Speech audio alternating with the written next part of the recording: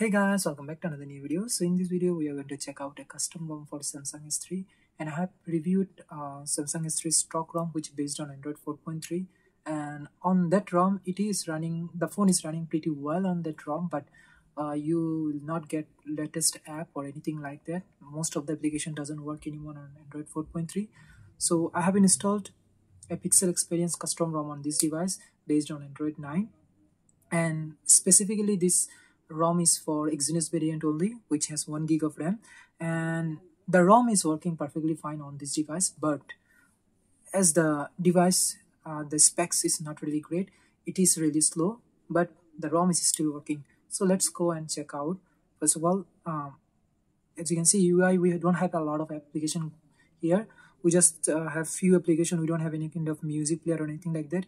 And this this rom is came, coming with gfs so you know don't really need to any kind of flashing gfs here. So i have installed two application here uh, safety net in youtube just to check everything like you can install application and anything everything like that. And also we have a gcam here which does work perfectly fine. So let me show you that. So our back camera is working just fine. And if i turn on the front camera it's also working just fine. So camera has no issue on this ROM and the cam the the camera built-in camera is working perfectly fine.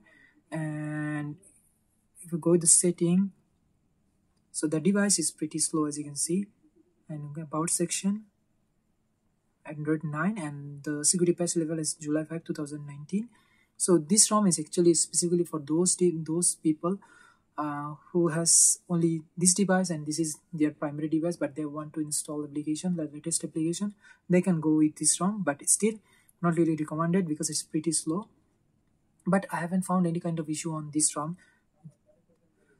Going with other things so we have like we also see and the model number as you can see GTI 9300 so specifically for this variant this this ROM is and going the network Wi-Fi is working a phone call and other things work just perfectly fine. Also if you go with hotspot section we have 5 gigahertz band to share internet so that's also included.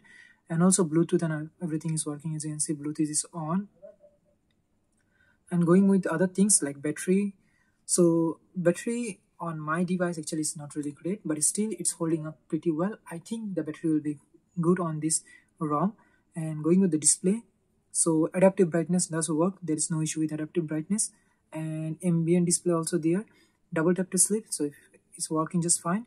And one thing which is not working good on this device is that you cannot work your device using home button. So if your device is locked then you can't if you press home button it doesn't do anything. So if you have a broken power button like me then you have to uh, use something to wake your device which is very frustrating for me because double tap to awake also doesn't work on these devices. And going with other things is that uh, if you are using the dark mode usually the dark mode default dark mode is grayish dark. So you can do go to dark theme setting and you can turn on the black black and it will provide you the inky black which is really great for this device because it is having an AMOLED panel. And also other things like color theme and other things you can change which are Android 9 features. And also there are few things going on here which you can change you can change the color setting of your display color calibration. You can go with whatever you like the way you like you can do that. Also you have night night light and other things. Sound is working perfectly fine. And if you go with the storage we have 10.85 gig of free storage. This device is 16 gig storage model. So pretty good. And one more thing you should do when you install this reminds is that go to accessibility and remove all the animation in that way you will feel a little bit snappy. Otherwise the rom is pretty slow. And going with the system setting there is not pretty much nothing going on that much. You can do few things here. And going with the status bar we can um, swipe to screenshot. The three finger swipe to screenshot is working. You have to turn it on from there and it's working just perfectly fine. Going with the buttons uh, long press torch active there is nothing going on. Volume button I work is there but not in not home button home button. So it's not working there. There is nothing we can do about that. So going with other things like there is nothing pretty much. The rom did not come with any kind of music player or anything like that. Just few application. And most of them actually working perfectly fine. There is no crashing or anything like that. And you will feel sluggish and sometimes the, the device goes blackout. It's not really a ROM problem. It basically the device hardware issue because it's can it's not capable of running android 9 that that much because of 1 gig of ram is not really great for android 9 going with the safety net it doesn't work so you cannot install any kind of bank apps on this rom. So safety net is failed actually. So it takes time but it's failed. I have tried it. Okay let it be. Yes it's failed now as you can see and going with the play store. So if you install this ROM at first the play store will not work. Give it time let it update the play store and google play service then the play store will work. So as you can see and in my case the play store is working now. It's a bit slow but it's working and all the latest application are there. So if you want to install anything you just go there and you can install it. So let's try one thing. I have already installed youtube here. And youtube application is working but it's pretty slow. But when you are in the video you will not uh, feel any issue with any application. But anyway the issue is there. It is slow. So the application is in pending. It should start downloading now.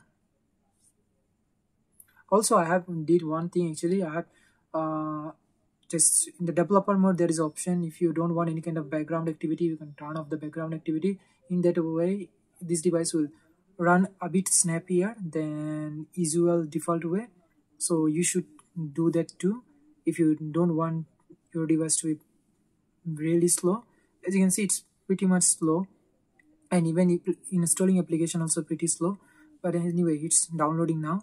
So let it download and we can go and check out other things. So if you go with uh, camera camera is working just perfectly fine. We have nothing to do here. Even if you go to youtube youtube will take time to load the page.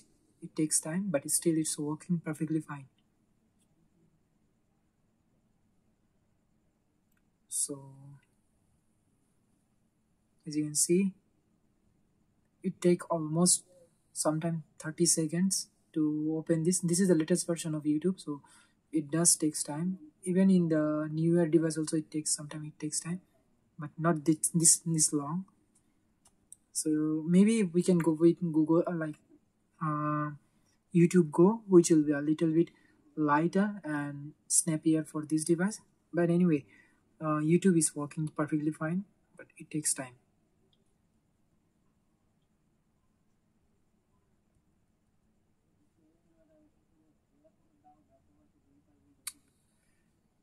Yes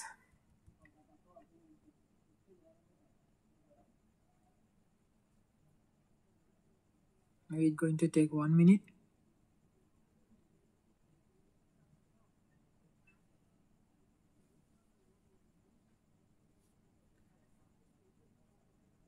It could be that we have we have background activity like we are installing application because of that too. Yes the application is on now but as you can see it's pretty slow. As you can see we can't even do anything now. Our device is frozen like but it works actually. It doesn't matter that much. If you're if you don't have any kind of background activity it will work perfectly fine. But in slow slow mode very slow motion. Even you see okay we are in the device now. So play store is still no it's not running on background. It didn't run in background. As you can see it didn't download the application. So as i said i have turned off any kind of background activity on this device so that's all about this ROM. If you really want to install this ROM, I will put the link in the description below. I will put the TWRP and the ROM link. You can flash it directly. You can download it and flash it on your device if you really want and I also have few more ROMs for this device based on Android 5, Android 6 and I will be reviewing those soon. Maybe those will be sweet point for this device actually rather than going with Android 9 I will say going with Android 6 or 7 will be much better. So that's all about Pixel Experience ROM for Samsung S3. Thank you very much for watching and I will see you next time.